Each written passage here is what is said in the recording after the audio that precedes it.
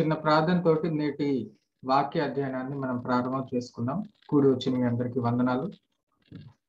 ప్రతి ఒక్కరూ నాతో ప్రార్థనలో ఏకీభవించవలసిందిగా కోరుతున్నాను పరలోకమందున మా తండ్రి మీ పరిశుద్ధ నామాన్ని స్థుతిస్తూ కనపరుస్తున్నాము. నీ వాక్యంలోని సత్యాలను మేము ధ్యానించుకొని చుండగా నేర్చుకొని చుండగా మాలో అంతకంతకు మీ వాక్య ప్రకారమైన మార్పుని మాలో కలుగు చేయమని వేడుకుంటున్నాము.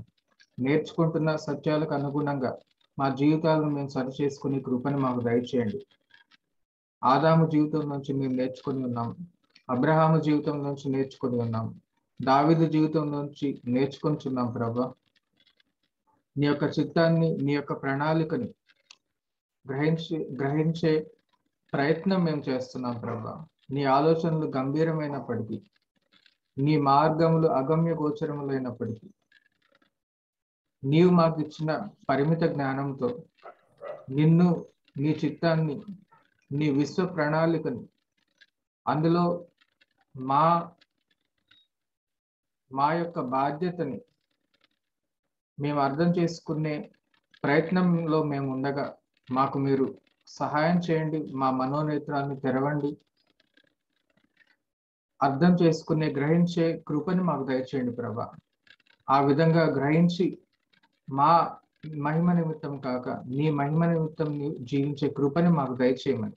మీకే ఘనత మహిమ ప్రభావాలు చెల్లిస్తూ ప్రభు అయిన యేసుక్రీస్తు నామంలో ప్రార్థన చేస్తూ వేడుకొంచున్నాము తండ్రి. ఆమెన్. దయచేసి ప్రతి ఒక్కరూ మీ వీడియోస్ని మ్యూట్లో పెట్టుకోవాల్సిందిగా నేను కోరుతున్నాను. రికార్డింగ్ అవుతుంది కాబట్టి తర్వాత వినే వారికి డిస్టర్బెన్స్ లేకుండా జాయిన్ అయిన ప్రతి ఒక్కరు ఒకసారి మీ ఆడియోస్ని చెక్ చేసుకోండి మ్యూట్లో పెట్టుకోండి. మరొకసారి మీ అందరికీ దేవుని నామంలో వందనాలు చెల్లిస్తున్నాను. మనం పోయిన వారం దావీదుతో దేవుడు చేసిన నిబంధన దావీదుతో దేవుడు చేసిన వాగ్దానాలు దావీదు ద్వారా దేవుడు ఏ విధంగా తన యొక్క చిత్తాన్ని ముందు కొనసాగిస్తూ వచ్చాడు అనే విషయాన్ని మనం చూసుకున్నాం. మరొకసారి నేను రిపీట్ చేస్తూ చెప్తున్నాను. మూడు ముఖ్యమైన వాగ్దానాలు మనం చూసుకున్నాం. మొదటిది ఆదికాండం మూడో అధ్యాయం పదిహేనవ వచనం. రెండవది ఆదికాండం పన్నెండవ అధ్యాయం మొదటి మూడు వచనాలు. అలాగే మూడవది పోయిన వారం మనం చూసుకున్నది రెండు సమ సమయాలు రాసిన రెండవ గ్రంథం రెండు సమయాలు ఏడవ అధ్యాయం. ఆదాము అబ్రహాము దావీదు. ఈ ముగ్గురు కీలక వ్యక్తులతో చేసినటువంటి ఆ దేవుడు చేసినటువంటి నిబంధనలు వాగ్దానాలు మనం చూసుకొని ఈ వాగ్దానాల యొక్క ప్ర ప్రయాణాన్ని ఆ జాగ్రత్తగా పరిశీలించే ఒక మహా ప్రయత్నాన్ని మనం చేస్తూ ఉన్నాం ఈ సమయంలో మనం. ఈ వాగ్దానాల ద్వారా దేవుడు ఏ విధంగా తన యొక్క చిత్తాన్ని బయలుపరిచాడో దేవుని యొక్క అసలు ఉద్దేశాలు ఏంటి అనే విషయాలు మనం ధ్యానించుకుంటూ వస్తున్నాం. దావీదు గురించి మనం చూసుకుందాం. దావీదు వరకు ప్రయాణించి వచ్చి దావిద జీవితంలో ఏం జరిగింది? దావిద గొలియాతుల కథ నుంచి దేవుడు మనకి ఏం నేర్పించదలిచాడు? ఆ తర్వాత దావీదుతో దేవుడు ఎటువంటి నిబంధన చేస్తాడు? ఏ పరిస్థితుల్లో చేస్తాడు? దావిద్ ఏ విధంగా పొరబడ్డాడు దేవుని విషయంలో? దేవుడు ఏ విధంగా నాతాను ప్రవక్తని దావీదుని ఆ, సరి ఏడు ఏడవ అధ్యాయంలో మనం చూస్తున్నాం. కాబట్టి దేవుని యొక్క ఉద్దేశం అసలు ఉద్దేశం ఏంటి? దావీదును హెచ్చించడం కాదు. దావీదు కుమారుడైన సొలొమోనును హెచ్చించడం కాదు కానీ దావీదు వంటి మరొక దావీదు వస్తాడు. దావీదు గర్భం వాసమును వస్తాడు. దావీదు వంశంలోంచి వచ్చి- రాబోయే ఆ అసలైన దావీదు ద్వారా దేవుడు తన మందిరాన్ని కడతాడు. ఆ మందిరం హస్తకృతాలయం కాదు కానీ ఆత్మీయ మందిరము. ఈ ఈ విషయాలన్నిటినీ సూచనప్రాయంగా మనం పోయిన వారం తెలుసుకున్నాం. ఇక్కడ నుంచి మనం కొనసాగుదాం. రెండవ సమయాలు ఏడవ అధ్యాయంలో దావీదుతో దేవుడు చేసిన నిబంధన ఏదైతే ఉందో దావీదుతో దేవుడు చేసిన నిబంధన. లేకపోతే దావీదు ద్వారా ఈ లోకంతో దేవుడు చేసిన నిబంధన అనొచ్చు. లేకపోతే దావీదు ద్వారా దేవుడు ఇచ్చిన వాగ్దానాలు. మూడు వేరు వేరు వాగ్దానాలు కాదు. ఈ మూడు కూడా ఒకటే వాగ్దానం. మూడు సపరేట్ వాగ్దానాలు కాదు. ఇది ఏక వాగ్దానము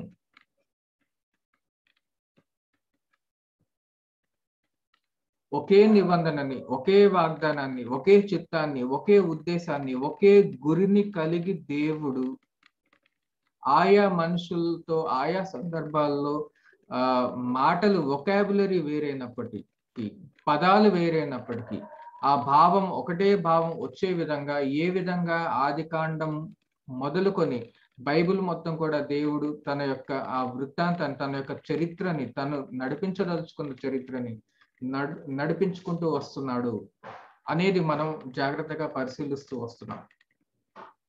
దావీదుతో దేవుడు చేసిన వాగ్దానం యొక్క భావాన్ని తర్వాత వచ్చిన కీర్తనకారులు ఎవరైతే ఉన్నారో సమయలు గ్రంథం తర్వాత. ప్రవక్తలు ఎవరైతే ఉన్నారో అంటే చరిత్ర గ్రంథాలు అయిపోయిన తర్వాత కీర్తన చరిత్ర గ్రంథాల తర్వాత కీర్తనల పుస్తకాలు తర్వాత ప్రవక్తల పుస్తకాలు ఉంటాయి కదా. ఈ ఈ తర్వాత దావీదు కాలానికి తర్వాత వచ్చిన వారు దావీదుతో దేవుడు చేసిన నిబంధన యొక్క భావం ఏంటి అనేది వారు అర్థం చేసుకోవడానికి ప్రయత్నం చేశారు. కీర్తనకారులు మరియు ప్రవక్తలు ఈ దావీదుతో చేసిన నిబంధన యొక్క భావము ఏమిటి అనేది అర్థం చేసుకోవడానికి కీర్తనకారులు మరియు ప్రవక్తలు ప్రయత్నం చేశారు. వారు దేవుడు దావీదుతో చేసిన వాగ్దానం లేకపోతే ఈ పలికిన ఈ పలుకుల యొక్క దావిదు మాత్రమే కాదు అబ్రహాము మరియు ఆదాములతో పాటు కలుపుకొని కీర్తనల గ్రంథాలు కానీ ప్రవక్తల గ్రంథాలు కానీ మీరు చదివినప్పుడు ఏ దృష్టితో చదవాలంటే ఈ మూడు వాగ్దానాలు ఏవైతే ఉన్నాయో వీటిని వీటి యొక్క భావాన్ని కనుక్కోవడానికి ఎటువంటి ప్రవక్త ఎటువంటి మెస్సయ రాబోతున్నాడు? ఆ స్త్రీ సంతానం ఎవరు? దావీదుకి వాగ్దానం చేయబడిన దావీదు సంతానం ఎవరు? అబ్రాహం యొక్క సంతానం ఎవరు? అబ్రాహం ద్వారా ఆశీర్వదింపబడవే లోకమంతటిని ఆశీర్వదించే ఆ సంతానం ఎవరు? సర్పాన్ని సర్పం యొక్క శిరస్సును చితుక త్రొక్కే ఆ సంతానం ఎవరు? అని ప్రశ్నించుకుంటూ ఈ కీర్తనకారులు మరియు ప్రవక్తలు ప్రయత్నం చేశారు. దేవుని యొక్క మర్మాన్ని కనుక్కోవడానికి దేవుడు ఎటువైపు సూచిస్తున్నాడో కనుక్కోవడానికి దేవుడు ఏ కాలాన్ని ఎట్టి కాలాన్ని సూచిస్తూ వస్తున్నాడో కనుక్కునే ప్రయత్నం ప్రవక్తలు మరియు కీర్తనకారులు చేయడం జరిగింది. వారు ఆ విధంగా ఎందుకు చేశారంటే ఇప్పటిలాగా క్రొత్త నిబంధనల్లో విశ్వాసులాగా వారికి పూర్తి ప్రత్యక్షత లేదు. క్రొత్త నిబంధన వారి దగ్గర లేదు. అది దేవుడు ఇంకా మర్మంగానే పెట్టాడు కాబట్టి వారు ఈ విధంగా అన్వేషించవలసి వచ్చింది. ఈ వాగ్దానాల భావం ఏంటి అనేది వారు అన్వేషించవలసి వచ్చింది. వారు తొంగి చూడవలసి వచ్చింది అని పరిశుద్ధ గ్రంథం ఒక దగ్గర చెప్తుంది. దేవదూతలు తొంగి చూడగో చూడగోరిరి అని ఉంటుంది పేతురు పత్రికలో. అలాగే ప్రవక్తలు పాత నిబంధన కాలంలోని దైవజనులందరూ కూడా ఆ ఆత్మ ఏ కాలములను ఎట్టి కాలములలో సూచించుతూ వచ్చాడో వాటిని తెలుసుకొనగోరిరి అని ఉంటుంది పేతురు పత్రికలో. ఈ ఈ వాగ్దానాలు ఏ విధంగా నెరవేరుతాయి ఎప్పుడు నెరవేరుతాయి ఎవరి ద్వారా నెరవేరుతాయి? ఎందుకంటే వారు ఎదురు చూశారు. నోవహే అని అనుకున్నారు కానీ నోవహు కాదు. అబ్రహాం ఏమో అనుకున్నారు కానీ అబ్రహాం కాదు. దావీదేమో అనుకున్నారు. దావీదు కాదు దావీద్ తర్వాత సొలమోన్ ఏమో అనుకున్నారు. సొలమోను కూడా కాదు. వాగ్దానాలు మాత్రం పెరుగుతూ వస్తున్నాయి. వాగ్దానాల తర్వాత వాగ్దానాలు వస్తున్నాయి. ఆదాం వెళ్ళిపోయాడు హేబెల్ వెళ్ళిపోయాడు నోవహు వెళ్ళిపోయాడు హనోకు వెళ్ళిపోయాడు నీతిమంతులు అందరూ వెళ్ళిపోతున్నారు. అబ్రహాం వెళ్ళిపోయాడు దావీదు వెళ్ళిపోయాడు. ఇది వాగ్దానాలు ఒకవైపు వస్తూనే ఉన్నాయి కానీ వాగ్దానాలు నెరవేర్చేది ఇతనేనేమో అని వారు అనుకుంటుండగా తర్వాత వారు తదనంతరం ఇది కాదు అని వారికి స్పష్టమై వారు ఒక పాత నిబంధనలోని దైవజనులందరూ కూడా పాత నిబంధనలోని ప్రవక్తలందరూ కూడా పాత నిబంధనలో పరిశుద్ధాత్మ ద్వారా అభిషేకించబడిన దైవజనులందరూ కూడా ఒక విధమైనటువంటి నిరీక్షణలోకి వెళ్ళిపోయారు. ఎందుకంటే వారి కళ్ళ ముందు దేవుడు బ్రహ్మాండమైన వాగ్దానాలు చేస్తున్నాడు. ఇది నెరవేర్చేది వీరేనేమో అని వారికి అనిపించేటట్లుగా. కానీ ఆఖరికి చూస్తే అది జరగట్లేదు. కాబట్టి వీరు ఒక అన్వేషణలోకి ఒక నిరీక్షణలోకి వెళ్ళిపోయారు. ఏ విధంగా ఈ వాగ్దానాలను అర్థం చేసుకోవాలి? ఏ విధంగా ఎటువంటి వ్యక్తి ఆ స్త్రీ సంతానం ఎవరు? ఈ ఆదికాండం మూడో అధ్యాయం పదిహేనో వచనం ఏ విధంగా నెరవేరబోతుంది? ఆదికాండం పన్నెండో అధ్యాయం ఏ విధంగా నెరవేరబోతుంది? రెండు సమయాలు ఏడవ అధ్యాయం ఏ విధంగా నెరవేరబోతుంది? ఇది వారికి ఒక మర్మంగా మిగిలిపోయింది. మనం ఒక చిన్న విన్నపం మనం ఇక్కడ ఏంటంటే కొంతకాలం ఈ రాబోయే తరగతుల్లో అసలు క్రొత్త నిబంధన కాకుండా కేవలం పాత నిబంధనని పాత నిబంధనలో నుండే మనం చూసుకోబోతున్నాం. కాబట్టి క్రొత్త నిబంధనలో ఉన్న జ్ఞానం దీని మీద అన్వయిస్తే ఇది పెద్ద మర్మంగా మనకు అనిపించదు. ఎందుకంటే మనకి స్పష్టంగా తెలుసు. ఆదికాండం మూడో అధ్యాయం పన్నెండో అధ్యాయం సమయలు గ్రంథం రెండో సమయలు ఏడో అధ్యాయం ఏ విధంగా నెరవేరుతుంది అనేది కొత్త నిబంధనల దృష్టికోణం చూస్తే చాలా సులభం. అది మనకు మర్మం కాదు.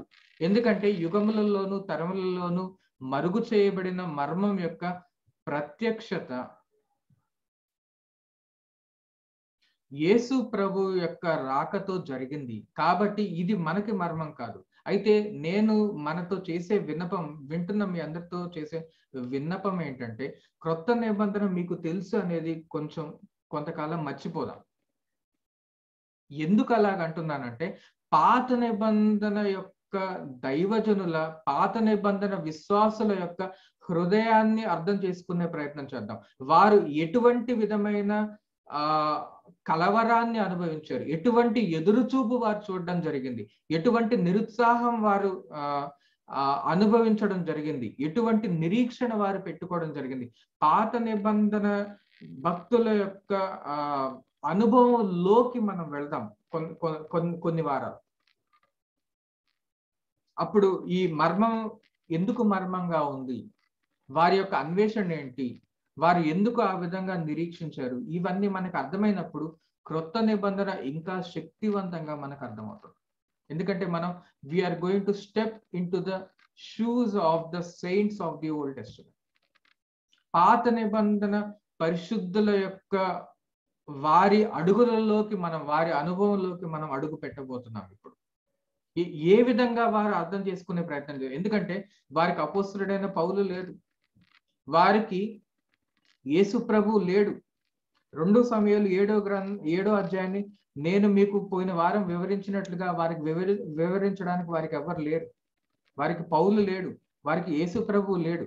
రెండు సమయాలు ఏడో గ్రంథం ఏడో అధ్యాయం యొక్క అసలు భావం ఏంటనేది మనం చాలా సులభంగా పోయిన వారం మనం చూసుకున్నాం. ఎందుకు ఎందుకు అంత సులభంగా చూసుకోగలిగామంటే మనకు క్రొత్త నిబంధన తెలుసు కాబట్టి. పౌలు లాంటి భక్తులు మనకు నేర్పించారు కాబట్టి. యేసు ప్రభు మనకు నేర్పించాడు కాబట్టి వాళ్ళ దగ్గర నేర్చుకున్న బోధకులు మనకు నేర్పిస్తున్నారు కాబట్టి వీటి యొక్క భావం అంత సులభంగా పోయిన వారం మనం అర్థం చేసుకున్నాం. కానీ మనం నేను పోయిన వారం మీకు వివరించినంత సులభంగా పాత నిబంధన భక్తులకి అది అర్థం కాలేదు. కాబట్టి క్రొత్త నిబంధన కొంచెం కొంతకాలం పక్కన పెట్టి కేవలం పాత నిబంధనని పాత నిబంధన దృష్టికోణంలోంచే చూసి వారి యొక్క స్ట్రగుల్స్ని వారి యొక్క ఆ బాధ సాధక బాధకాలని వారి యొక్క నిరీక్షణని అర్థం చేసుకునే ప్రయత్నం మనం చేద్దాం. ఏ విధంగా వారు ఈ మూడు ప్రధాన వాగ్దానాలని అర్థం చేసుకునే ప్రయత్నాలు కీర్తనకారులు మరియు ప్రవక్తలు చేశారు? ఏ విధంగా అర్థం చేసుకునే ప్రయత్నం వారు చేశారు? వారు ఏమనుకున్నారు? వారి మనసులలో ఏముంది? కీర్తనల యొక్క సారాంశం ఏంటి? ప్రవక్తల గ్రంథాల యొక్క గుండె చప్పుడేంటి? ప్రవక్తల గ్రంథాల యొక్క భావం ఏంటి ప్రవక్తల ప్రవక్తల యొక్క నిరీక్షణ ఏంటి? పరిశుద్ధ చివరికి ఇదంతా సారాంశం ఏంటంటే పరిశుద్ధ గ్రంథం యొక్క అసలు భావం ఏంటి? లేఖనాల గుండె చప్పుడు ఏంటి? What is the heartbeat of the scriptures? What is the heartbeat of God? Let us try to go into that. దానిలోకి వెళ్ళే ప్రయత్నం మనం చేద్దాం.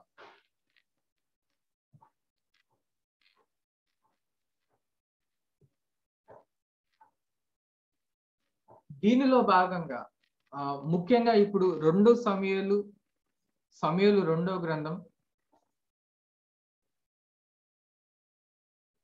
ఏడవ అధ్యాయంలో దావీదుతో చేసినటువంటి నిబంధన దేవుడు యహోవా దేవుడు దావీదుకు చేసినటువంటి వాగ్దానాల యొక్క భావాన్ని ప్రవక్తలు మరియు కీర్తనాకారులు ఏ విధంగా అర్థం చేసుకోవడానికి ప్రయత్నం చేశారు?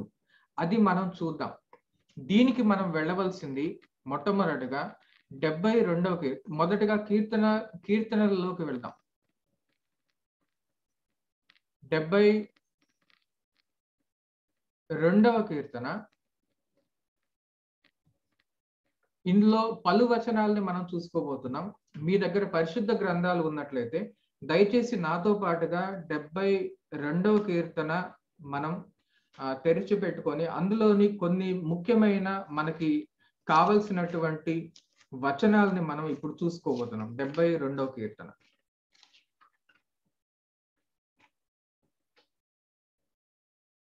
అందులో ఒకసారి ఇరవై ఇరవయో వచనం నేను చదువుతాను.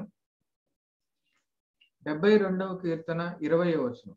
ఇది చాలా ముఖ్యమైన కీర్తన.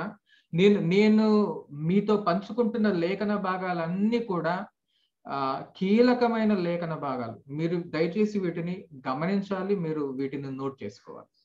డెబ్బై రెండవ కీర్తన సమయలు రెండవ సమయలు గ్రంథం ఏడవ అధ్యాయాన్ని అర్థం చేసుకోవడానికి కీలకమైనటువంటి లేఖన భాగాలు.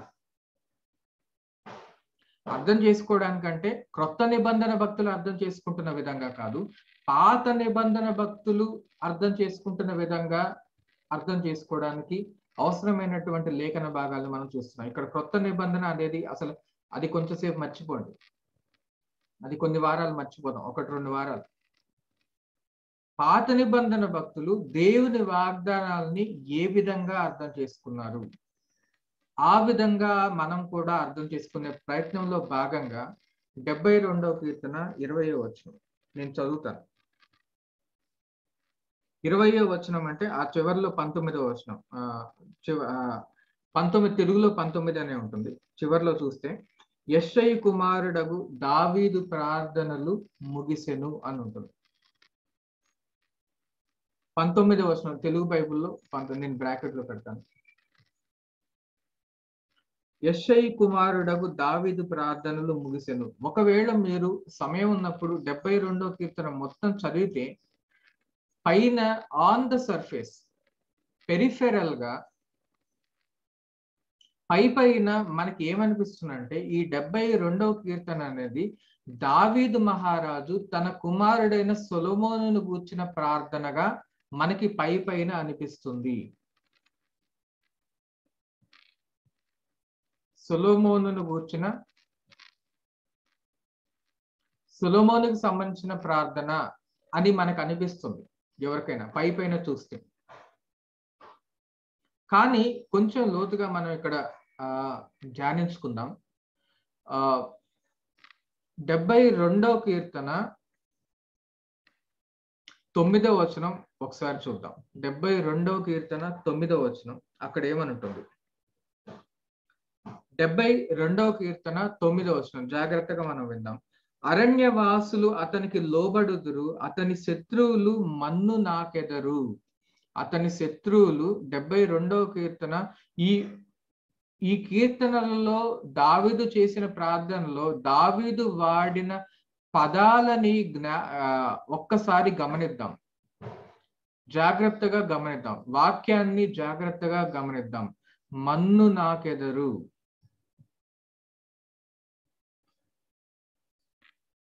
అరణ్యవాసులు అతనికి లోబడుదురు అతని శత్రువులు మన్ను నాకెదరు. ఏ అత అతను అంటే ఎవరిక్కడ? దావీదు యొక్క కుమారుడు. దావీదు కుమారుని యొక్క దావీదు కుమారునికి అరణ్యవాసులందరూ లోబడతారు. దావీదు కుమారుని యొక్క శత్రువులు మన్ను నాకెదరు. ఇది దావీదు చేసిన ప్రార్థన దావీదు యొక్క కుమారుని గురించి. అది అది సొలమోను కాదు కానీ సొలమోను స్థానంలో రాబోయే సొలమోను కంటే గొప్పవాని కూర్చిన ప్రార్థన దావీదు సంతానమును కూర్చిన ప్రార్థన అబ్రహాము సంతానమును కూర్చిన ప్రార్థన స్త్రీ సంతానమును కూర్చిన ప్రార్థన. స్త్రీ సంతానము.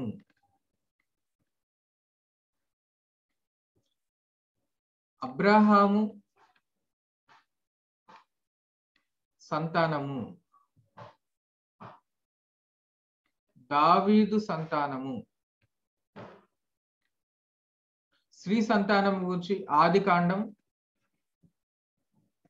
మూడు పదిహేనులో ఉంటుంది. అబ్రాహం సంతానం గురించి ఆది కాండం పన్నెండు ఒకటి నుంచి మూడులో ఉంటుంది. దావీదు సంతానం గురించి రెండు సమయాలు ఏడో అధ్యాయంలో ఉంటుంది. స్త్రీ సంతానం అని పలికినప్పటికీ అబ్రహాము సంతానం అని పలికినప్పటికీ దావీదు సంతానం అని పలికినప్పటికీ ఈ మూడు కూడా ఒకటే పదము అనేది మనం మర్చిపోవద్దు. ఈ మూడు కూడా ఒకే వ్యక్తిని సూచిస్తున్నాయి. స్త్రీ సంతానము అబ్రహాము సంతానము దావీదు సంతానం ఈ మూడు పదాలు కూడా ఒకటే వ్యక్తిని సూచిస్తున్నాయి. కాబట్టి నేను డెబ్బై రెండవ కీర్తనలో దావీదు తన కుమారుని గురించి ప్రార్థన చేశాను. అని అన్నప్పుడు మనకి మనసులోకి ఏం రావాలంటే దావిదు కుమారుడు అంటే నథింగ్ బట్ అబ్రహాము సంతానమే. అబ్రహాము సంతానం అంటే ఎవరో కాదు స్త్రీ సంతానమే. మూడవ అధ్యాయం ఆదికాండ మూడవ అధ్యాయం పదిహేను వర్షంలో ఆ వాగ్దానం చేయబడిన స్త్రీ సంతానం గురించే మనం మాట్లాడుతున్నాం. వారు ఏం చేస్తారంట? మన్ను నాకెదరు. మన్ను నాకెదరు. వాగ్దాన పుత్రుడు రెండవ సమయాలు ఏడవ అధ్యాయం పన్నెండవ వర్షం మనం చూసినట్టయితే సమయలు గ్రంథం రెండవ సమయలు గ్రంథం ఏడవ అధ్యాయం పన్నెండవ వచనం. పోయిన వారం మనం చూసుకున్న ఆ లేఖన భాగాన్ని ఒకసారి చూసుకుంటే అక్కడ దావీదుకి కలగబోయే సంతానం గురించి ప్రభు అయిన యహోవా దేవుడు వాగ్దానం చేస్తాడు. ఏమని చేస్తాడు? పన్నెండవ వచనం. మరియు యహోవానగు నేను నీకు తెలియజేయనదేమనగా నేను నీకు సంతానము కలుగ చేయుదును నీ దినములు సంపూర్ణములగునప్పుడు నీవు నీ పితరులతో కూడా నిద్రించిన తర్వాత నీ గర్భములో నుండి వచ్చిన నీ సంతతిని హెచ్చించి రాజ్యమును అతనికి స్థిరపరచరను ఏ వాగ్దానం అయితే యహోవా దేవుడు దావీదుతో ఇప్పుడు పలకబడిన మాటల్లో చేశాడో నీ గర్భంలోంచి ఒక సంతానం వస్తాడు. ఆ సంతానాన్ని హెచ్చిస్తాను ఆ సంతానానికి రాజ్యము స్థిరపడుతుంది అన్నాడు ఆ సంతానము. ఆ సంతానం గురించి మాట్లాడుతూ దావీదు రెండో సమయంలో ఏడో గ్రంథ ఏడో అధ్యాయం పన్నెండవ వచనంలో దేవుడు చేసిన వాగ్దానాన్ని తలుచుకుంటూ దానికి ప్రతిస్పందనగా డెబ్బై రెండవ కీర్తనలో ప్రార్థన చేస్తున్నాడు తన తన సంతానం కోసం. ఏమని? డెబ్బై రెండు తొమ్మిది. మరలా చదువుతాను అతని శత్రువులు అరణ్యవాసులు అతనికి లోబడుదురు అతని శత్రువులు మన్ను నాకెదరు. ఈ భాషని దావీదు ప్రార్థనలోని భాషని మనం గమనిస్తే మన్ను నాకడం గురించి ఎక్కడుంటుంది? హెబ్రి హెబ్రిలో ఇంకా స్పష్టంగా ఉంటుంది హెబ్రి భాషలో. మన తెలుగులో తెలుగులో కూడా మనకి స్పష్టంగా ఉందంటే హెబ్రిలో ఇంకా స్పష్టంగా అర్థమవుతుంది. ఎక్కడుంటుంది మన్ను నాకడ గురించి? మరలా చరిత్రలో వెనకాలకు వెళ్ళవలసి వస్తుంది వెనక్కి. ఆది కాండం మూడో అధ్యాయం పద్నాలుగో వచనంలో ఉంటుంది మన్ను నాకడం గురించి. అక్కడ ఏమని ఉంటుంది మనందరికీ బాగా తెలిసిన వచనం. మరలా మరలా చూస్తున్నారా? లేఖనాలలో ఎంత ముందుకు వెళ్ళినా సంఖ్యాకాండంలోంచి చూసుకున్నా సంఖ్యాకాండం ఆదికాండం వైపే చూపిస్తుంది. అబ్రహాముని చూసుకున్న అబ్రహాము ఆదికాండం మూడో అధ్యాయం వైపే చూపిస్తుంది. దావీదును చూసుకున్న సమయలు గ్రంథాలను చూసుకున్నా మరలా ఆదికాండం మొదటి రెండు మూడు అధ్యాయాలనే చూపి వైపుకే చూపిస్తుంది. ఇప్పుడు మనం ఎక్కడికి వెళ్ళాం? సమయలు గ్రంథాన్ని కూడా దాటుకొని కీర్తనల గ్రంథాల్లోకి వచ్చాం. కీర్తనల గ్రంథంలోకి వెళ్ళినా మరలా అది ఎక్కడ వెళ్తు వెళ్తుంది? ఆది కాండం మొదటి రెండు మూడు అధ్యాయాల్లోకి వెళ్తుంది. అంటే మీకు అర్థం అవ్వాల్సిన విషయం ఏంటంటే లేఖనాలలో మీరు ఎంత ముందుకు వెళ్ళినప్పటికీ అదంతటికి అవన్నీ కూడా ఆది కాండం మొదటి మూడు అధ్యాయాల వైపుకి చూపిస్తున్నాయి. ఈ సూత్రం మీకు ఈ ఒక్క సింపుల్ టెక్నిక్ మీకు అర్థమైతే ఈ ఈ ఈ సాధారణ విషయం మీరు గ్రహించగలిగితే పరిశుద్ధ గ్రంథాన్ని మీరు చదివే విధానము అర్థము చేసుకునే విధానం సంపూర్ణముగా సమూలముగా మారిపోతుంది. ప్రకటన గ్రంథం వరకు వెళ్ళిన చివరికి అది ఆది కాండం మొదటి అధ్యాయం రెండో అధ్యాయం మూడో అధ్యాయం తోటి ఏదో ఒక సంబంధం కలిగి ఉంటుంది. మరలా మరలా మనం లేఖనాలలో ఎంతకు ముందుకు వెళ్ళినా మరలా ఆది కాండానికి వెళ్ళవలసి వస్తుంది. లేఖనాల యొక్క భావాల్ని కనుక్కోవడానికి మరలా మరలా మనం ఆది కాండం మొదటి మూడు అధ్యాయాల్లోకి వెళ్ళవలసి వస్తుంది అనేది మీరు గమనించవలసినగా నేను కోరుతున్నాను. మూడో అధ్యాయం పద్నాలుగు వర్షంలో ఏమని ఉంది అక్కడ?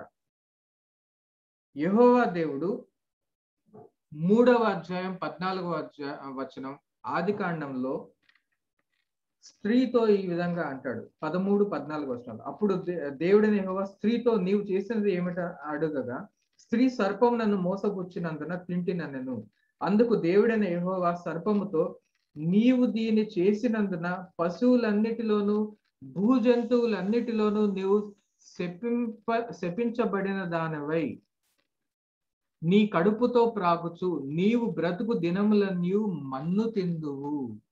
మన్ను తిందువు. మూడో అధ్యాయం పద్నాలుగు వర్షంలో ఏమంటుంది?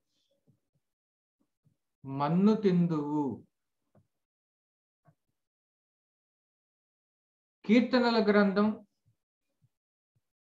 డెబ్బై రెండో అధ్యాయం తొమ్మిదో శ్లోకంలో ఏమంటుంది? మన్ను నాకెదరు. ఆది కాండం మూడో అధ్యాయం పద్నాలుగో వర్షంలో ఏమంటుంది? మన్ను తిందువు. మన్ను తిందువు మన్ను నాకెదరు. హెబ్రిలో ఒకటే పదం. దీనిని బట్టి పరిశుద్ధాత్మ ఏమి సూచిస్తున్నాడు డెబ్బై రెండో కీర్తన ద్వారా? ఏమి సూచిస్తున్నాడని మనకు అర్థం అవ్వాలంటే రాబోయే దావీదు సంతానము యొక్క శత్రువులు మన్ను నాకెదరు. అంటే దాని భావం ఏంటంటే ఆ రాబోయే దావి సంతానం ఎవరో కాదు ఆ సంతానం ఆది కాండం మూడో అధ్యాయం పదిహేనవ వర్షంలో వాగ్దానం చేయబడిన స్త్రీ సంతానమే. ఆ సర్పం యొక్క శిరస్సు ఆ ఛేదించేవాడు. సాతానుని యొక్క శాపాన్ని నెరవేర్చేవాడు. దేవుని బిడ్డల యొక్క ఆశీర్వాదాన్ని నెరవేర్చేవాడు ఆ మన్ను నాకింప చేసేవాడు మన్ను శత్రువులతో మన్ను నాకింప చేసేవాడు శత్రువులతో మన్ను తినిపించేవాడు పుట్టబోతున్నాడు నాకు అనేది పాత నిబంధన భక్తులు గ్రహించారు. అంటే క్రొత్త నిబంధన లేదు అని అనుకున్నాం అనుకున్నాం కదా? ఇప్పుడు పాత నిబంధన భక్తులు సమయలు గ్రంథం ఈ రెండో సమయలు గ్రంథం ఏడవ అధ్యాయాన్ని ఏ విధంగా అర్థం చేసుకున్నారంటే ఆ ఏడవ అధ్యాయంలో వాగ్దానం చేసిన దావి సంతానం ఎవరో కాదు. ఆ సంతానము ఆది కాండం మూడో అధ్యాయం పదిహేనో వర్షంలో దేవుడు ఆదాం హవ్వలకి వాగ్దానం చేసిన ఆ స్త్రీ సంతానమే అనేది వారు అర్థం చేసుకున్నారు. ఆ విధంగా వాక్యాన్ని అర్థం చేసుకున్నారు. పాత నిబంధన భక్తులు వాక్యాన్ని ఆ విధంగా అర్థం చేసుకున్నారు. ఎవరు కూడా ఈ వాగ్దానాల్ని పొరపాటున అర్థం కాక తమ వ్యక్తిగత జీవితాలకి అన్వయించుకున్నారేమో తమ వ్యక్తిగత సంతానం కోసం తమ వ్యక్తిగత కుటుంబం కోసం చేసిన వాగ్దానాలుగా పొరపాటున అర్థం చేసుకొని ఉండొచ్చు. కానీ మరలా వారిని పరిశుద్ధాత్మ సరిచేసినప్పుడు మరలా పరిశుద్ధాత్మ దేవుడు వారికి జ్ఞానం దయచేసినప్పుడు ఇది దావీదు తర్వాత గ్రహించి ఉండవచ్చు. ఇది కేవలం నా సంతానం గురించిన వాగ్దానం కాదు. ఈ సంతానము అలాంటి ఇలాంటి సంతానం కాదు. ఈ సంతానం ఎవరో కాదు. ఆది కాండం మూడో అధ్యాయం పదిహేనో వర్షంలో వాగ్దానం చేయబడిన సంతానము. సర్పము చేత మన్ను నాకింప చేసే సామర్థ్యం ఉన్న సంతానము అనేది వారు గ్రహించే గ్రహించడానికి వారు మొదలు పెట్టారు ఎప్పుడు వస్తాడు ఎలా వస్తాడు? ఎవరు వస్తారు? అనేది వారికి ఇంకా అర్థం కాకపోయినప్పటికీ వారు ఈ మన్ను తిందువు మన్ను నాకెదరు అనే పదం ఉపయోగించడం ద్వారా వారు మనకి ఇస్తున్న క్లూస్ ఏంటంటే మేము గ్రహించాము. సమయలు గ్రంథం ఏడవ అధ్యాయం రెండు సమయాలు ఏడవ అధ్యాయంలో దేవుడు చేసిన దావిడికి చేసిన వాగ్దానాల యొక్క భావాన్ని మేము గ్రహించగలుగుతున్నాము అని వారు పాత నిబంధన భక్తులు మనతో మాట్లాడుతున్నారు. ఆది కాండం మూడో అధ్యాయం పదిహేనుకి కనెక్ట్ చేయడం ద్వారా. అంత మాత్రమే కాదు. ఇంకొంచెం ముందుకు వెళ్తే డెబ్బై రెండో కీర్తన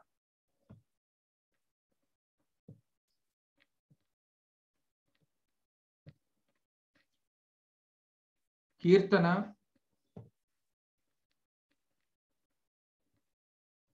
డెబ్బై రెండు పదిహేడవ వచనం చూద్దాం. అక్కడ ఏమని ఉంటుంది? డెబ్బై రెండవ కీర్తన పదిహేడు వచనం చూడండి.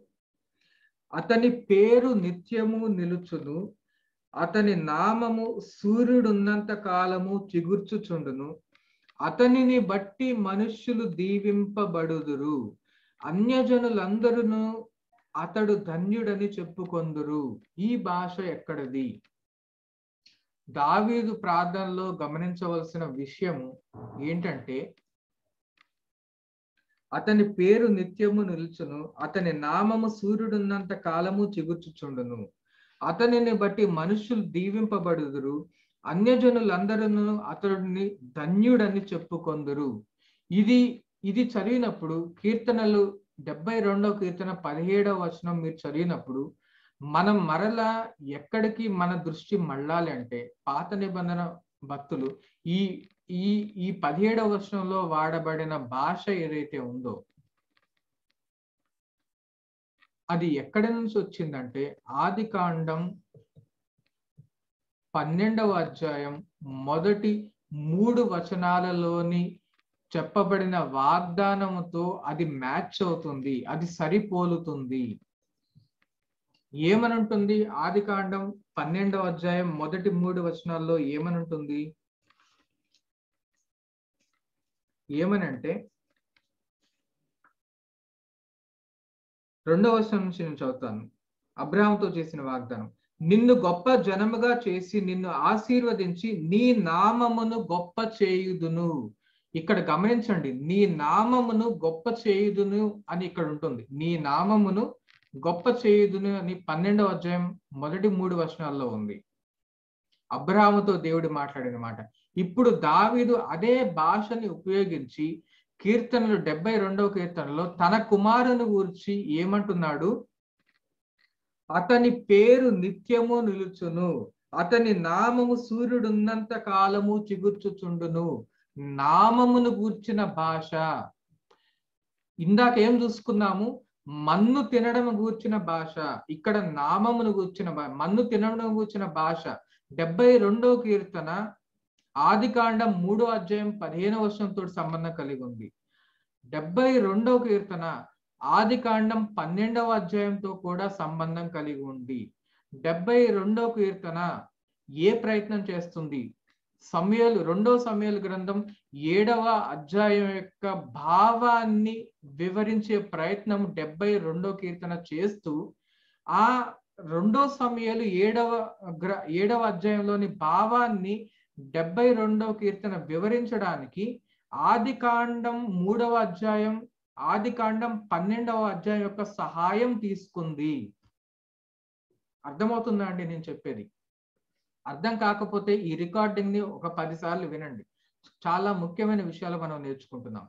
దావీదు తనకు చే దావీదు ప్రార్థన చేస్తూ దేవుని సన్నిధిలో ధ్యానిస్తూ అసలు తనకు చేసిన దేవుడు సమయాలు రెండవ గ్రంథం ఏడవ అధ్యాయంలో తనకు చేసినటువంటి వాగ్దానాల యొక్క భావం ఏమై ఉంటుందా అని దావిదు ప్రశ్నించుకుంటూ దేవుని సన్నిధిలోకి వచ్చి దేవుని ధ్యానిస్తున్నప్పుడు దేవుడు ప్రవక్త అయిన దావీదుకి దైవజనుడైన దావీదుకి ఇచ్చిన ప్రత్యక్షతని అనుసారముగా డెబ్బై రెండవ కీర్తనలో పరిశుద్ధాత్మానుసారమైన ప్రార్థన చేస్తూ దావీదు రెండవ సమయాలు ఏడవ అధ్యాయం యొక్క భావాన్ని వివరిస్తూ పరిశుద్ధాత్మ తనని ఆది కాండం పన్నెండవ అధ్యాయం వైపుకి ఆది కాండం మూడవ అధ్యాయం వైపుకి నడిపించడం జరిగింది. దావీదు సమయలు గ్రంథం రెండవ రెండవ సమయలు గ్రంథం ఏడవ అధ్యాయంలోని నేను నీకు చేసిన వాగ్దానాల యొక్క అసలు భావం నీకు అర్థం అవ్వాలంటే నీవు ఆది కాండం పన్నెండవ అధ్యాయాన్ని చదవాలి. ఆది కాండం మూడవ అధ్యాయాన్ని చదవాలి అని యహోవా దేవుడు దావిదుతో చెప్తున్నట్లుగా ఉంది. ఆ విధంగా పాత నిబంధన భక్తులు దేవుని వాక్యాన్ని క్రొత్త నిబంధన లేకుండానే క్రొత్త నిబంధనలోని ప్రత్యక్షత లేకుండానే యేసు ప్రభు రాకముందే పౌలు రాకముందే ఇటువంటి గొప్ప గొప్ప వారు రాకముందే వారు ఈ విధంగా దేవుడు తమతో మాట్లాడిన మాటల్ని అర్థం చేసుకునే ప్రయత్నం వారు చేయడం జరిగింది. నామమును గుచ్చిన భాష.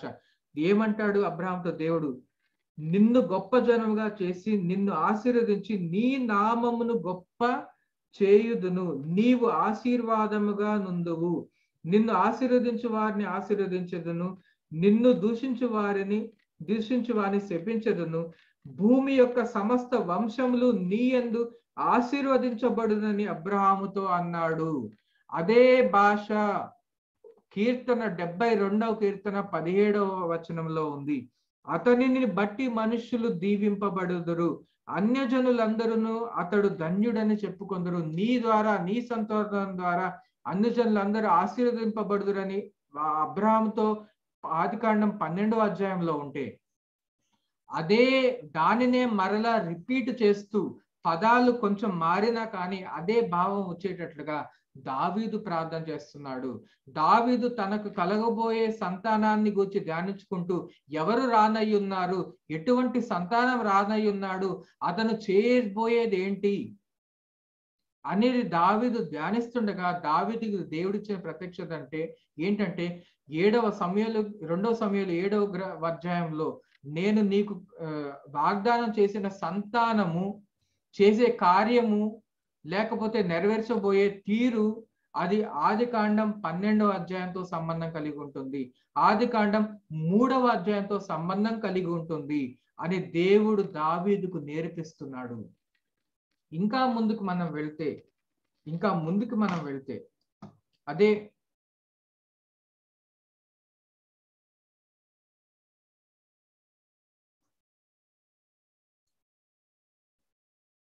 అదే డెబ్బై రెండవ కీర్తనలో ఇంకా ముందుకు కనుక మనం వెళ్ళినట్లయితే డెబ్బై రెండవ కీర్తన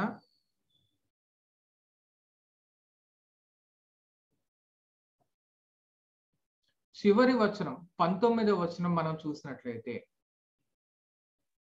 ఇంకొక సత్యం మనకు తెలుస్తుంది. ఇంకొక సత్యం మనకు తెలుస్తుంది. దావీదు చేసిన ప్రార్థన. దావీదు చేసిన ప్రార్థన ఆషామాషి ప్రార్థన కాదు. పరిశుద్ధాత్మ యొక్క ప్రత్యక్షతతో దేవుని నడిపింపుతో కూడిన ప్రార్థన చేస్తూ దావీదు ఈ మాటలు పలుకుతాడు ఆ కీర్తన చివరిలో. ఏమంటాడు? పంతొమ్మిదవ వర్షం డెబ్బై రెండవ కీర్తన పంతొమ్మిదవ వర్షం ఆయన మహిమగల నామము నిత్యము స్థుతింపబడునుగాక ఈ నామమును గూర్చిన భాష ఆదికాండం పన్నెండవ అధ్యాయంలోంచి వచ్చింది.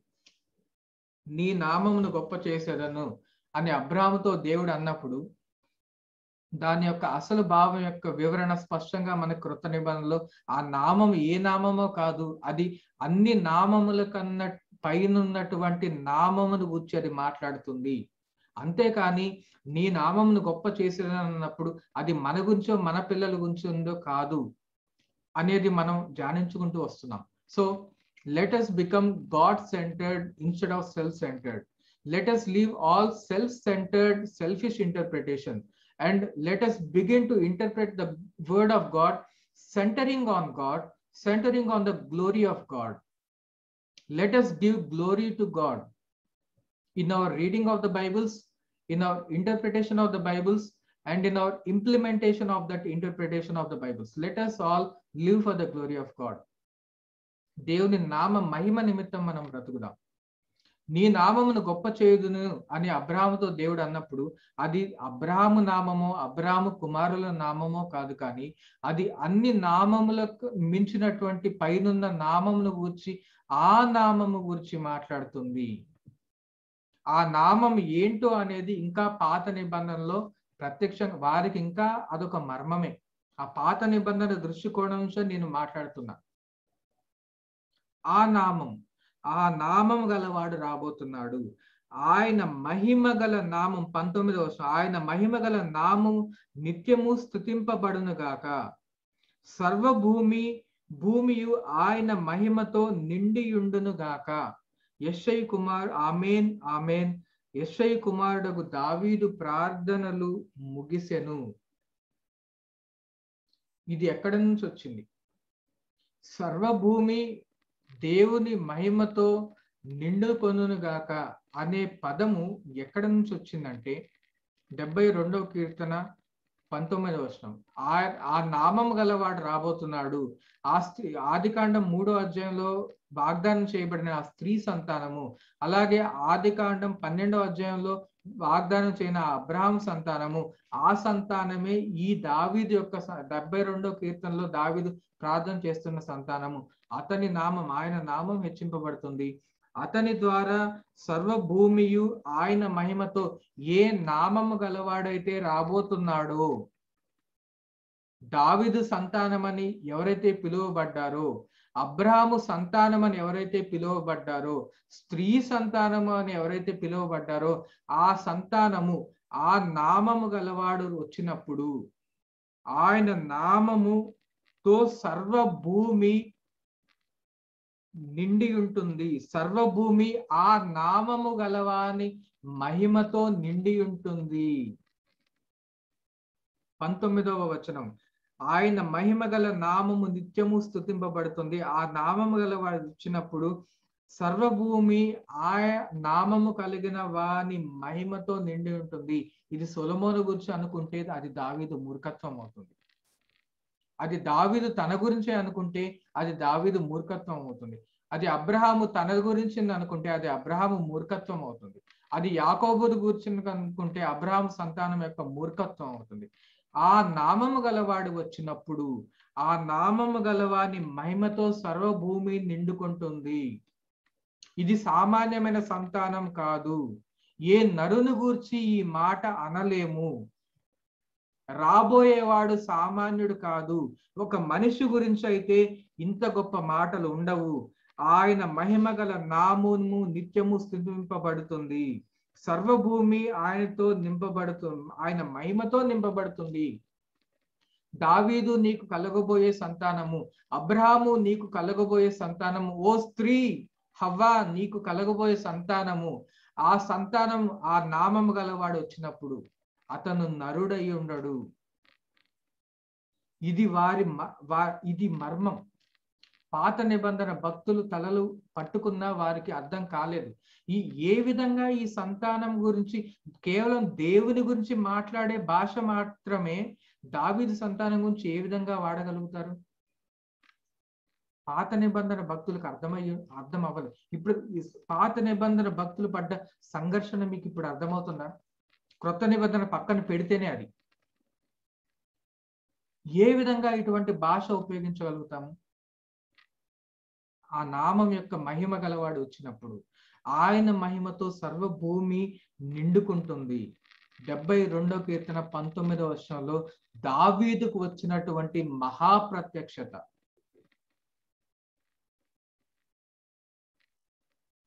దేవుడు మానవుడు అవ్వబోతున్నాడు అనేది వారి ఊహ కందనటువంటి ప్రత్యక్షత.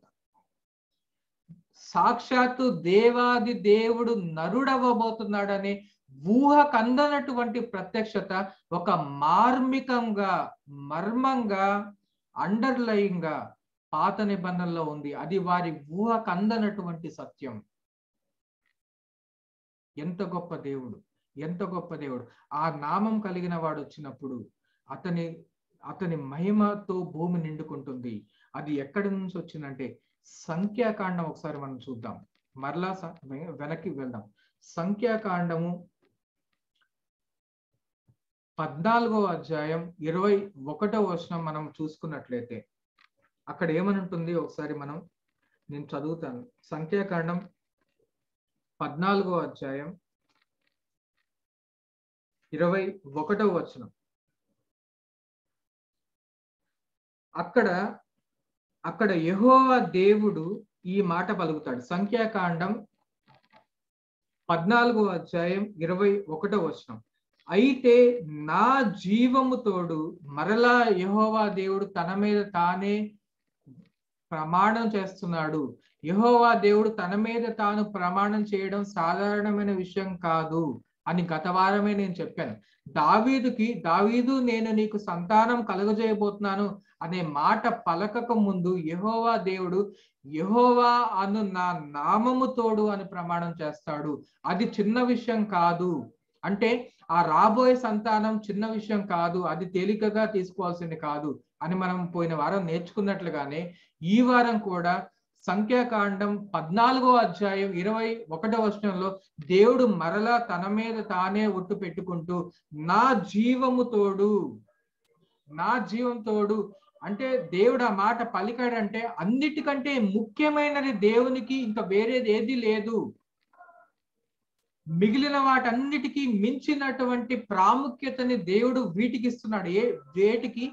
దావిద్ గర్భము నుండి కలగబోయే సంతానానికి. అలాగే ఇప్పుడు నేను చదవబోయే సంఖ్యాకాండం పద్నాలుగో అధ్యాయం ఇరవై ఒకటో వచనంలో దేవుడు చెప్పబోయే విషయానికి దేవుడు ఇస్తున్న అతి ప్రా అన్నిటికంటే ముఖ్యమైన ప్రాముఖ్యత. చూడండి. నా అయితే నా జీవము తోడు భూమి అంతయు యహోవా మహిమతో నిండుకొని ఉండును నా జీవము తోడు భూమి అంతయు యహోవా మహిమతో నిండుకొని ఉండును. ఇది దేవుని యొక్క చిత్తం. మొదట్లో నేను పలికిన మాటలను ఒకసారి మీరు జ్ఞాపకం చేసుకోవాల్సిందిగా ఈ తరగతుల ఆరంభంలో నేను పలికిన మాటల్ని మీరు జ్ఞాపకం చేస్తున్నా. ఈ సర్వ సృష్టి సర్వ సృష్టి ఒక విశ్వ మందిరము ఈ భాషని నేను పలికినది ఒకసారి జ్ఞాపకం చేసుకోండి. దేవుని యొక్క అసలు ఉద్దేశం ఇదే. కీర్తనల గ్రంథం డెబ్బై రెండో కీర్తనలో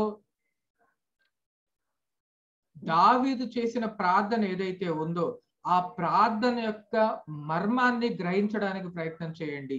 సర్వ సృష్టి దేవుని మంత్రం దేవుని యొక్క ఉద్దేశం ఎప్పుడు కూడా అత్యున్నతమైన ఉద్దేశము కేవలం మన వ్యక్తిగత జీవితాల గురించినది కాదు. అది ఈ దేవుని యొక్క సృష్టిని ఏ విధంగా దేవుని మందిరముగా మార్చాలి? దేవునికి ఈ సృష్టి ద్వారా ఏ విధంగా మహిమ కలగాలి? ఆ దొంగిలించబడిన మహిమని దేవునికి చెందవలసిన మహిమని చెందనివ్వకుండా సాతాను చేసిన కార్యాన్ని ఏ విధంగా తిప్పి కొట్టాలి ఆ తిప్పి కొట్టడానికి రానయున్న సంతానము కూర్చున్నదే పరిశుద్ధ గ్రంథం యొక్క వృత్తాంతం అంతా కూడాను.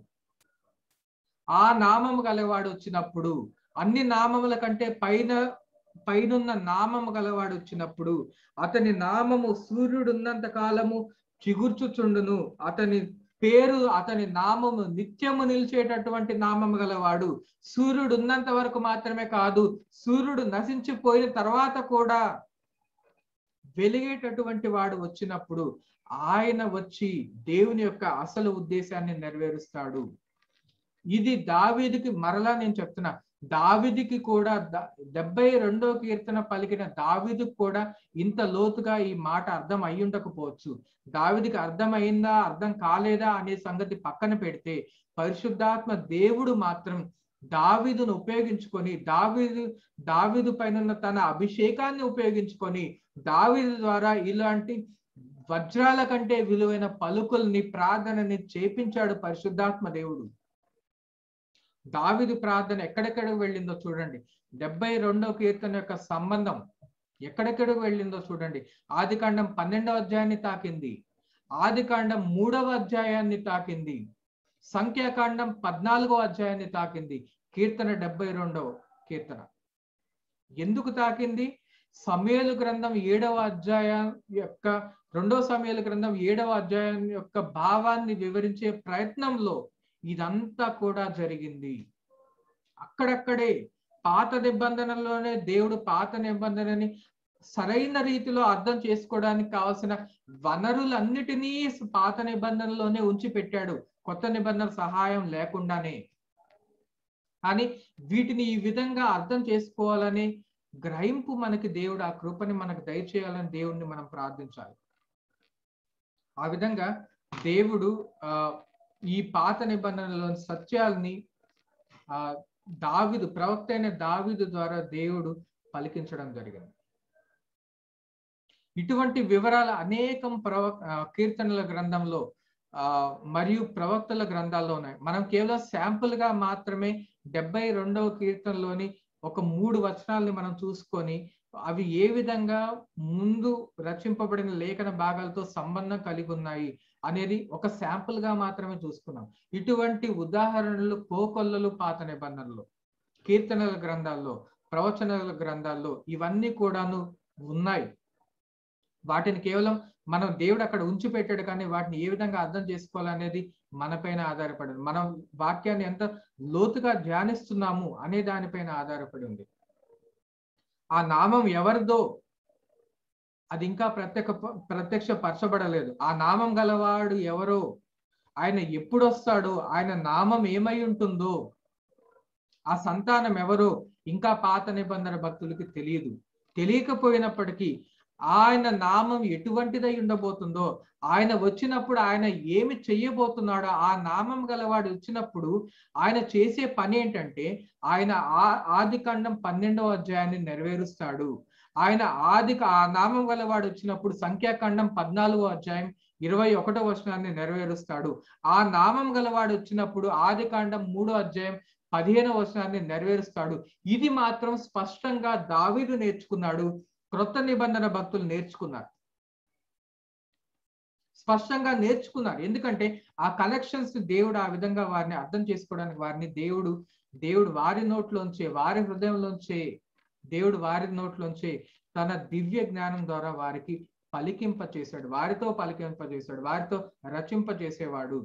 ఆ సంతానం రానయ్యున్న స్త్రీ సంతానం రానయ్యున్న అబ్రాహ్ము సంతానం రానయ్యున్న దావిదు సంతానము చేయబోయే క్రియ ఏంటి? అత ఆయన చేయబోయే విమోచన ఎటువంటిది? పన్నెండవ అధ్యాయానికి సంబంధించినటువంటి విమోచన మూడవ అధ్యాయానికి సంబంధించినటువంటి విమోచన ఆది కాండంలో. సమయలు గ్రంథం ఏ రెండవ అధ్యాయ రెండవ గ్రంథం ఏడవ అధ్యాయానికి సంబంధించినటువంటి విమోచనది ఇంటర్లింక్స్ ఇంటర్ కనెక్షన్స్ గమనిస్తున్నారా? ఎంత చక్కగా ఒక అల్లుకున్నటువంటి విధానంలో దేవుడు తన యొక్క గ్రంథాన్ని రచింపచేశాడో గమనించండి. అదే విధంగా కీర్తనల గ్రంథం దాటుకొని వెళ్ళి మనం ఒకవేళ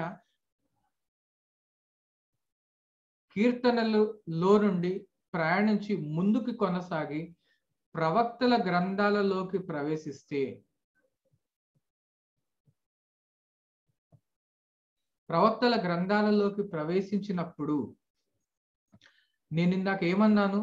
దావీదుతో దేవుడు రెండు సమూయేలు ఏడవ అధ్యాయం యొక్క భావం కీర్తనాకారులు వివరించడానికి ప్రయత్నం చేశారు ఒక పక్క. మరొక ప్రక్క ప్రవక్తలు కూడా దీని యొక్క భావాన్ని వివరించడానికి ప్రయత్నం చేశారు. కాబట్టి కీర్తనకారుల్లో డెబ్బై రెండో కీర్తనలో దావీద్ ఏ విధంగా రెండో సమయాలు ఏడవ అధ్యాయం యొక్క భావాన్ని అర్థం చేసుకున్నాడో ఆది కాండం మూడో అధ్యాయం పన్నెండవ అధ్యాయం సంఖ్యాకాండంలోని ఆ పద్నాలుగో అధ్యాయం యొక్క సహాయంతో దావీదు డెబ్బై రెండో కీర్తనలో ఏ విధంగా ఈ ఏడవ అధ్యాయం యొక్క భావాన్ని అర్థం చేసుకోవడం ధ్యానించాం. అలాగే ఇప్పుడు ప్రవక్తల గ్రంథాలలోకి వెళ్ళి ప్రవక్తల గ్రంథాలలో ఉదాహరణకి యషయా ప్రవక్తని మనం తీసుకుందాం. వీరందరూ కూడా దావీద్ అయితేనేమి యషయా అయితేనేమి వీరందరూ కూడా దీని భావం ఏమై ఉంటుందా అనేది ఆలోచించారు. యషయా ప్రవక్త కూడా సో రెండో సమయాలు ఏడవ అధ్యాయంలోని వాగ్దానం చేయబడిన వాగ్దానాల యొక్క భావం ఏంటి? కనుక్కునే ప్రయత్నంలో యషయా కూడా కొన్ని లేఖనాలని రచించడం జరిగింది. ఏ విధంగా అయితే దావిదు డెబ్బై రెండో కీర్తన ద్వారా భావాన్ని కనుక్కోవడానికి ప్రయత్నం చేశాడు అదే విధంగా యషయా కూడా కొన్ని లేఖ యశా గ్రంథంలోని కొన్ని లేఖన భాగాల ద్వారా ఆ భావాన్ని కనుక్కోవడానికి ప్రయత్నం చేశాడు. దీనికోసం మనం యశా గ్రంథం పదకొండవ అధ్యాయంలోకి మనం వెళ్ళవలసి వస్తుంది. యశా గ్రంథం పదకొండవ అధ్యాయం. చూసినట్లయితే అక్కడ మరల ఈ భావాన్ని యశ దావీది ఏ విధంగా అయితే భావాన్ని కనుక్కునే ప్రయత్నం చేశాడో అదే విధంగా యశ కూడా ప్రయత్నం చేసినట్లుగా మనం చూడగలుగుతాం. దయచేసి కాబట్టి మీలో ప్రతి ఒక్కరు యశా గ్రంథం పదకొండవ అధ్యాయాన్ని తెరిచి ఉంచవలసిందిగా కోరుతున్నాను.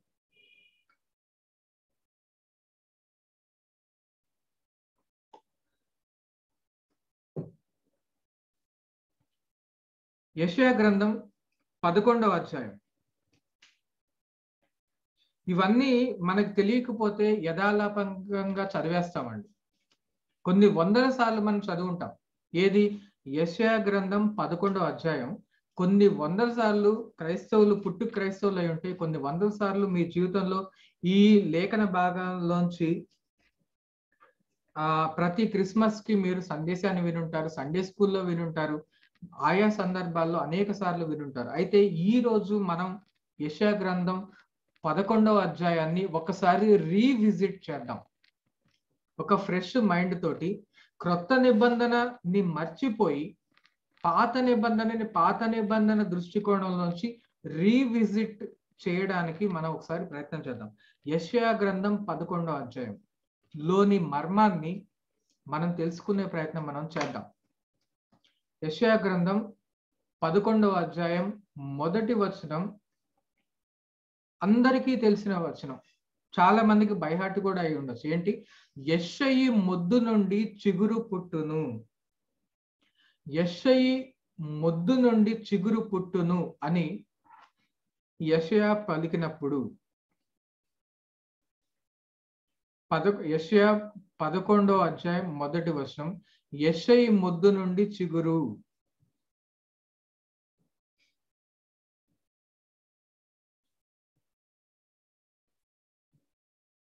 యషయి. చాలా మందికి పాపం యషయా అనే పేరుకి యషయి అనే పేరుకి మధ్య కన్ఫ్యూజ్ అయిపోతూ ఉంటారు. మన మేధావులు యషయి అంటే యషయానేమో అనుకుంటారు చాలా మంది కొంతమంది. అది యషై కాదు యషై అంటే యషై ఎవరు యషై దావీదు తండ్రి. దావీదు తండ్రి అయిన యషై గురించి యషయా ప్రవక్త యషయా గ్రంథం పదకొండో అధ్యాయం మొదటి వచనంలో మాట్లాడుతున్నాడు. ఏమని మాట్లాడుతున్నాడు? యషయి మొద్దు నుండి చిగురు పుట్టును అని మాట్లాడుతున్నాడు. యషయా ప్రవక్త ఈ మాట పలికినప్పుడు దేని గురించి మాట్లాడుతున్నాడు? యషై ముద్దు నుండి చిగురు పుట్టును అని యశా ప్రవక్త మాట్లాడినప్పుడు దానిని మనం దేనితో కలెక్ట్ కనెక్ట్ చేయాలి? యషై ముద్దు నుండి చిగురు పుట్టును అనే మాట నేరుగా రెండో సమయాలు గ్రంథం ఏడవ అధ్యాయంలో దావీదు గర్భం నుండి వచ్చిన సంతానంతో సంబంధం కలిగి ఉండి అనేది మనం గ్రహించాలి. దావీదుకి కలగబోయే సంతానం గురించి రెండో సమయాలు గ్రంథం ఏడవ అధ్యాయంలో విన్న విధంగా యషయా ప్రవక్త పదకొండవ అధ్యాయంలోని ప్రత్యక్షతని అతను బయలుపరుస్తున్నప్పుడు దేవుడు తనకు అనుగ్రహించిన ప్రత్యక్షతని యషయా ప్రవక్త రచిస్తున్నప్పుడు అది మనం ఏ దృష్టికోణంతో చూడాలి? యషయా మనసులో ఎవరున్నారు? యశ యశ గ్రంథం పదకొండో అధ్యాయాన్ని ఏ దృష్టిలోంచి మనం చదవాలంటే రెండో సమయాలు గ్రంథం ఏడవ అధ్యాయంలోని దృష్టిలోంచి మనం చదవాలి. మీరు ఎన్నోసార్లు వినుంటారు. యశ గ్రంథం పన్ పదకొండవ అధ్యాయంలోంచి ఎన్నో ప్రసంగాలు వినుంటారు. కానీ ఈ రోజు నేను మీకు చెప్పేది ఏంటంటే యశ గ్రంథం పదకొండవ అధ్యాయం మీకు అర్థం అవ్వాలంటే అది రెండో సమయాలు ఏడవ అధ్యాయంతో మీరు దానిని లింక్ చేయాలి. అప్పుడే యషయ ఏం మాట్లాడుతున్నాడు? ఎవరి గురించి మాట్లాడుతున్నాడు? ఈ యషయ ముద్దు నుండి పుట్టే చిగురు ఎవరు? అనేది మీకు అర్థమవుతుంది. అతని గురించి యషయ మాట్లాడుతూ యషయ మనసులో ఎవరున్నట్టు లెక్క ఇప్పుడు? యషయ యషయ గ్రంథం పదకొండో అధ్యాయం రచిస్తూ యష్యా మనసులో ఎవరున్నట్టు లెక్క ఇప్పుడు? దావీదుకి కలగబోయే ఆ సంతానము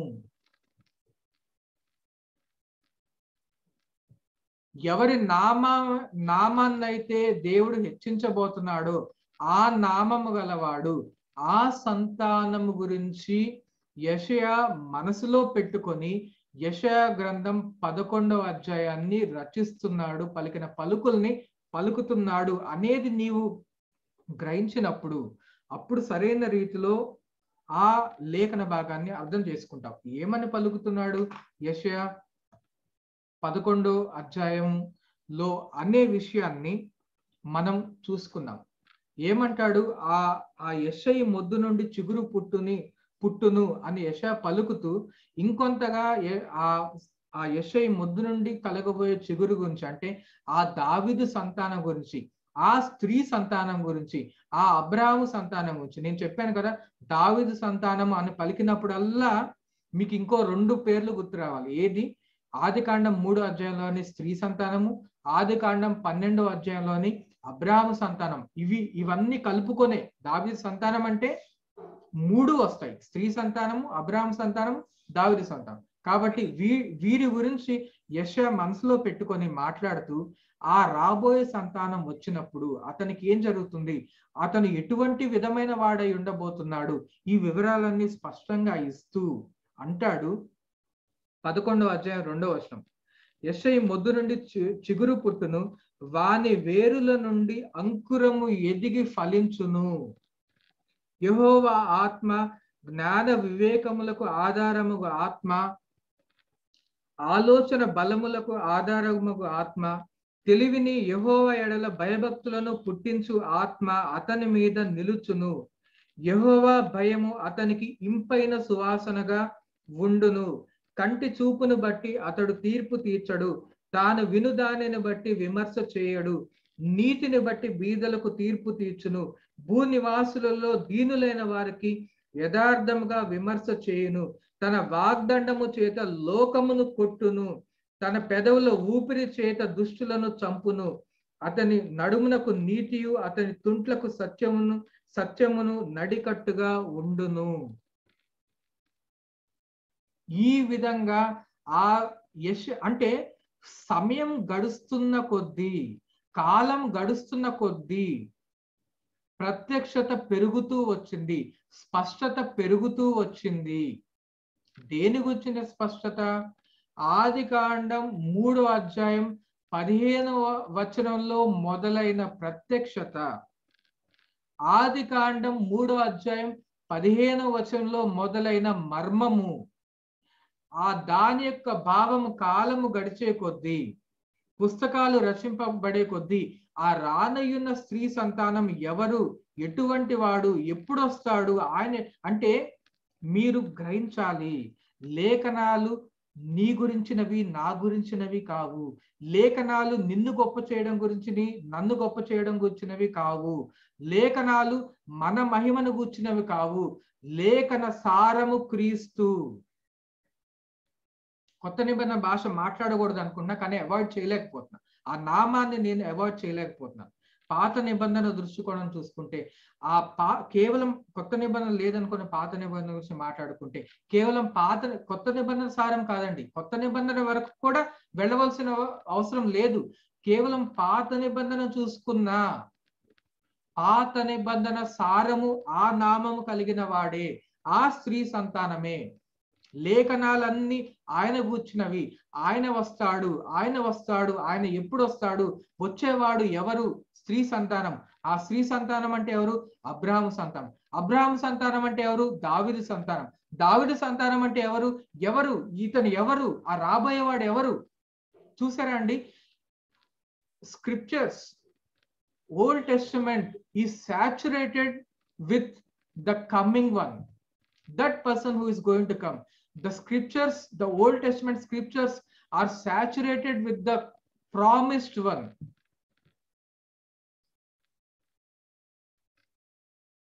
he is going to come ఆయన రానై ఉన్నాడు ఆ సంతానము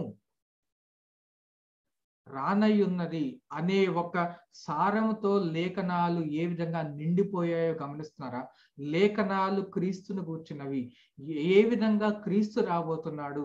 రాబోయే క్రీస్తు ఎటువంటి వాడు? ఏ విధంగా వస్తాడు? ఆయన ఏం చేయనై ఉన్నాడు వీటితోటే నిండిపోయింది లేఖనం అంతా అది మనం గ్రహించాలి. మన వ్యక్తిగతాల జీవితాల గురించి మన స్వార్థం గురించి కాదు మనం గొప్ప అయిపోవడం గురించి కాదు. బైబిల్ గ్రంథం మన మనం ఏ విధంగా ఈ లోకంలో మనం ఏ విధంగా గొప్పోళ్ళం అయిపోతాం అనే దాని గురించినది కాదు. లేఖనాలు దేనిని కూర్చున్నవి ఏ విధంగా రాబోయే ఆ నామము కలిగిన వాడు అన్ని నామముల కంటే పైనున్న నామము కలిగిన వానికి ఏ విధంగా మహిమని తెప్పించబోతున్నాడు దేవుడు? ఆయన ఏ విధంగా సింహాసనం ఎక్కబోతున్నాడు? ఆయన ఏ విధంగా చేయబోతున్నాడు? దానిని కూర్చున్నది వాక్యం. దానిని కూర్చున్నది బైబిల్ గ్రంథం. ఇది నువ్వు గ్రహించినప్పుడు నీ మీద నువ్వు దృష్టి నీకు పోయినప్పుడు దేవా నన్ను ఏ విధంగా వాడుకుంటావు? ఇది కాదు నీ దృష్టి ఉండాల్సింది. నన్ను ఏ విధంగా వాడుకుంటావు? నన్ను ఏ విధంగా దావిదు వల్లే చేస్తావు? నన్ను ఏ విధంగా మోసేలాగా వాడుకుంటావు? నన్నెప్పుడు ఆ ధాన్యాల వల్లే వాడుకుంటావు? ఇటువంటి దృష్టి నీకు పోయినప్పుడు ఎటువంటి దృష్టి నీకు వచ్చినప్పుడు దేవా ఆ రాబోయే స్త్రీ సంతానాన్ని నీవు ఏ విధంగా హెచ్చించబోతున్నావు? ఆ నామం కలిగిన వాడికి ఏ విధంగా మహిమ రాబోతుంది? ఏ విధంగా ఆయన మహిమపరచడం నిమిత్తం నా జీవితాన్ని నేను వెచ్చించగలను ప్రవ్వా? నన్నెప్పుడు మోసేలాగా వాడుకుంటావు? నన్నెప్పుడు దావిదు వలె వాడుకుంటావు? నన్నెప్పుడు పౌల వలె వాడుకుంటావు? ఇది కాదు నీ నీ మనసు దానిపైన మీద కాదు ఉండాల్సింది.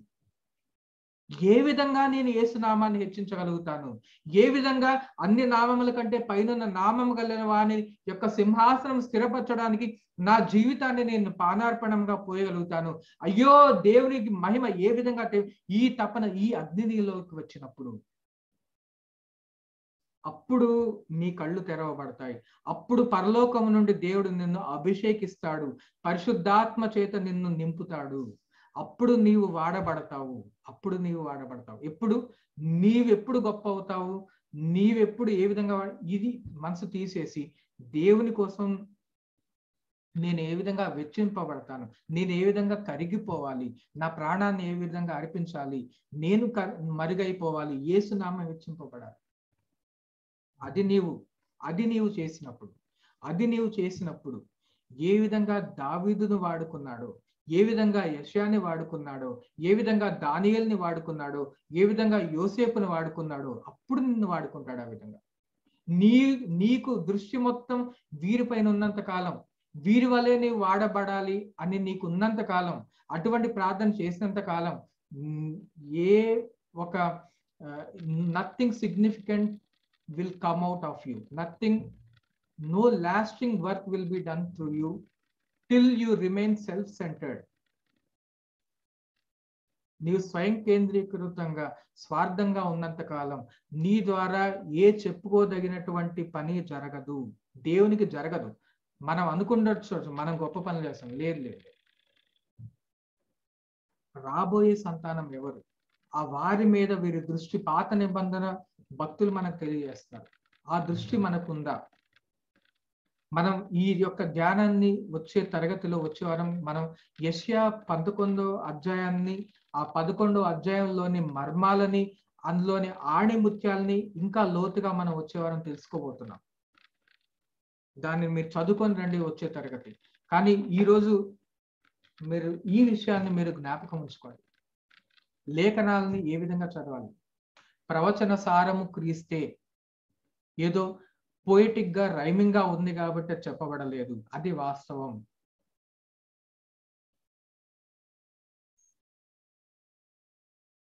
వాక్యాన్ని వాడుకోవడం మానేద్దాం. మన స్వార్థం కోసం వాక్యాన్ని వాడుకోవడం మానేసి మన స్వార్థం కోసం వాక్యాన్ని వాడుకోవడం మానేసి వాక్యం కోసం మన జీవితాల్ని వాడ వాడుకో వాడడం ప్రారంభం చేద్దాం. నేను ఏమన్నాను? Stop using the word of God for the sake of your life and start using your life for the sake of God అంటున్నా నేను. When you do that you will do that only if you are able to realise the true meaning of the word of God. Only if you realize the scriptures. లేఖనాలని లేఖనాల భావాన్ని నిజ భావాన్ని గ్రహించినప్పుడు మాత్రమే నీవేం అర్థం చేసుకుంటావంటే నీవేం గ్రహిస్తావంటే నా జీవితం కోసం లేఖనాలని వాడుకోవడం తప్పు లేఖనాలు ఎవరి వైపు అయితే చూపిస్తున్నాయో లేఖనాలు ఎవరి నిమిత్తం రచింపబడ్డాయో లేఖనాలు ఎవరి నామ మహిమ నిమిత్తం రచింపబడ్డాయో? లేఖనాలు ఎవరి చిత్తం గురించి రచింపబడ్డాయో? లేఖనాలు ఎవరి రాజ్యం కోసం అయితే ఉన్నాయో? ఆ లేఖనాల నెరవేర్పు కోసం నా జీవితాన్ని వాడుతాను. వాడుతాను పానార్పణంగా పోస్తాను. ఈ సమర్పణ తెచ్చుకో. నిన్ను దేవుడు వాడుకుంటాడు. నన్ను దేవుడు వాడుకుంటాడు. ఇది చేద్దాం మనం. ఇది చెయ్యాలంటే ముందు వాక్యం అర్థం కావాలి. ఆ ఆ ప్రయత్నంలో మనం ఉన్నాం. ఈ ప్రయత్నంలో ఇంకా ముందు కొనసాగుదాం. తర్వాత వచ్చే వారాల్లో దయచేసి తలలు వంచినట్లయితే మనం ప్రార్థన చేసుకొని నేటి యొక్క తరగతిని మనం ముగించుకొని వచ్చే వారం యశా గ్రంథం పదకొండవ అధ్యాయాన్ని మరలా ఆ ధ్యానించడం మనం కంటిన్యూ చేసి అందులోని మర్మాలని తెలుసుకుందాం దయచేసి ప్రార్థన. పరిశుద్ధుడా మా పరలోకపు తండ్రి మీ పరిశుద్ధ నామాన్ని స్థుతిస్తూ కనపరుస్తున్నాం. దావీదుతో నీవు చేసిన నిబంధన. రెండవ సమయాల గ్రంథం ఏడవ అధ్యాయంలో మేము గత వారం తెలుసుకున్నాం. దాని యొక్క అసలు భావం తెలుసుకున్నాం ఆ ఆ నిబంధన ఆ వాగ్దానాల యొక్క భావాన్ని వారు ఏ పాత నిబంధన భక్తులు ఏ విధంగా అర్థం చేసుకున్నారు? కీర్తనల కారులు ఏ విధంగా అర్థం చేసుకున్నారు? యశా ప్రవక్తలు వంటి ప్రవక్తలు ఏ విధంగా అర్థం చేసుకున్నారు? అనే విషయాన్ని మేము ధ్యానిస్తూ ఉండగా పాత నిబంధన భక్తుల యొక్క హృదయాలలోకి మేము ప్రవేశించినట్లుగా పాత నిబంధన భక్తుల యొక్క ఆలోచన తీరులోనికి మేము ప్రవేశించినట్లుగా ఆ కృపని మాకు దయచేయండి ప్రభా. తద్వారా నీ వాక్యాన్ని ఇంకా లోతుగా అర్థం చేసుకోవడానికి నీ మనసుని ఇంకా లోతుగా అర్థం చేసుకోవడానికి నీ హృదయాన్ని ఇంకా లోతుగా అర్థం చేసుకోవడానికి ఒక మీనింగ్ఫుల్ జీవితాలు అర్ధరహితమైన అర్ధరహితమైన జీవితాలు కాదు ప్రభా. అర్ధ సహితమైన జీవితాలు జీవించగలే కృపని వ్యర్థమైన జీవితాలు కాకుండా నీకు ఉపయోగపడే జీవితాలను జీవించే కృపని నీ వాక్యం ద్వారా మాకు కలిగింప చేయమని మీకే ఘనత మహిమ ప్రభావాలు చెల్లిస్తూ ప్రభు అయిన యేసుక్రీస్తు నామంలో ప్రార్థన చేయొచ్చు. వేడుకొంచున్నాము తండ్రి. ఆమె దేవుడి మాటల్ని దీవించునుగాక. మీ అందరిని కూడా దేవుడు దీవించునుగాక.